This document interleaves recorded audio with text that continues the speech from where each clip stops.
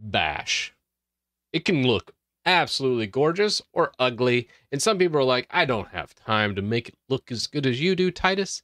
And today you do because you're watching this video and it will take you literally seconds to just type two commands in and make your ugly bash turn into something magical. So I, I have a bash script that sets bash up for you.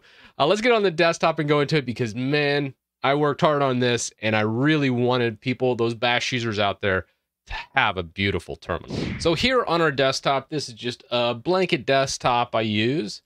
Uh, we're going to pull up the terminal. You know, we can just do a control alt T, pull it up, and you have this ugly standard terminal, which is fine. But it'd be so much nicer if we had something kind of like this or like that. That's pretty cool, right? Look at that. Look at that beautiful terminal. Must go bigger. Yes. Ah, oh, it's glorious. You look so good. And now we're going to make the other one look just as good as this one. Wait a second. That's not Linux. That's PowerShell. I'm sorry. That's going to be next Monday's video. All right, there we go. That's better. And we're back to this old Linux Mint console with a KDE kind of style to it. Uh, let's uh, let's make this look good. First up, couple dependencies. We're going to just do an apt install of Git. We'll clear that out. Um, usually I make like a build directory for my GitHub repositories or maybe like just GitHub. And that way all my GitHub projects are in one spot. You don't have to do this step if you don't want. And then we just clone my bash repo. And that's just github.com, Chris Titus Tech, my bash. That's it. Super easy, right? Uh, so we just come into here and then let's take a peek at our script before we run it because you should never just trust some random YouTube guy on the internet before running a script on your system, you should take a look at the script and see what you can see. First up, we set the actual directory to the current directory. It goes and installs Starship, which most people know Starship. However, we're using a heavily themed version of Starship. And then it does a symbolic link between the bash RC in this folder and your home folder. So if you already have a bash RC, you're probably going to wipe that out. Uh, also, it sets the Starship TOML file in your .config folder. So we could actually change this and remove these or just change them into copy commands if you don't care about any updates I do to this script and you just kind of want to make it your own. By all means, I encourage you.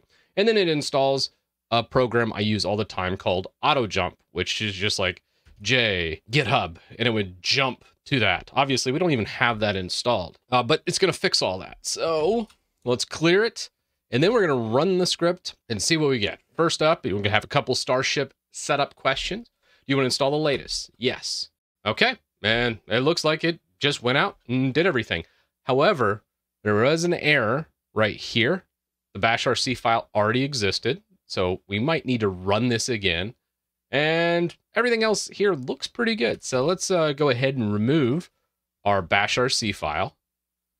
And we'll just rerun the setup. Uh, we don't need to set up Starship again. We're just going to redo that. So now if we go into our home folder, do a long listing, you should see like bash RC up here, referencing right there.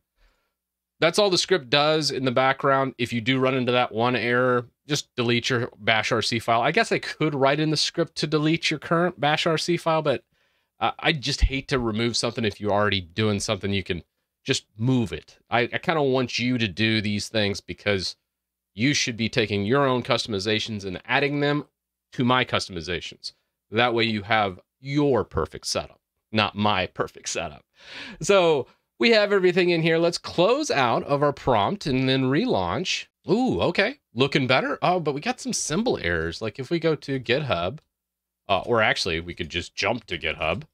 Ah, so much better, right? So if you're back here and you want to just jump like two subdirectories in, you now have the auto jump command super cool for any bash users out there. And we could just do like my bash. And then it's like, oh, okay. Uh, but if you've never gone there, it doesn't know. So if you go J, my bash again, ah, now it sees the directory. So it only remembers your history. So once you go into a subdirectory, auto jump will always remember that. So then you can just jump to wherever you need to go with the J button. Enough with auto jump. Now let's fix some of these icons. As you see, they're kind of ugly. and we need to change that. So we're going to change our current profile on our terminal. If you're using like Kitty or any other or uh, Alacritty or whatever it might be, you need to change your font. So we'll go to Appearance. Oh, it's the hack font. Well, that's going to be a problem. Uh, here's a nerd font, Meslo. Oh, that's much better. Okay. Bam. Nerd fonts always do better. I know like the Cove font is another really cool nerd font. Uh, pretty much any nerd font's going to make it look just gorgeous. That's why like when you come over to like the Windows version, this isn't using the Meslo font. This one right here is looking at this. This is a Consolas, but it actually uses this Caskaydia Cove font. That's really the best font that gives a lot of really cool ones. So the, pretty much all the nerd fonts have these really cool icons associated with them, which can make for a really cool looking system. But I digress.